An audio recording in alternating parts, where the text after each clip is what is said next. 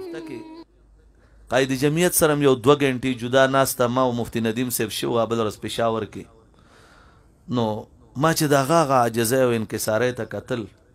زه د الله په ذات گوا کوم چې زه حیران وم چې د دومره لوی سړی ته او د د عاجزه انکساره ته وګوره ما وې کده په سو خبرې کوي کدي سړی سره لک سات کې ناستو هغه ته به اندازه ولګي چې دا څنګه سړی دی او د په دماغو کې څه دي نن سبا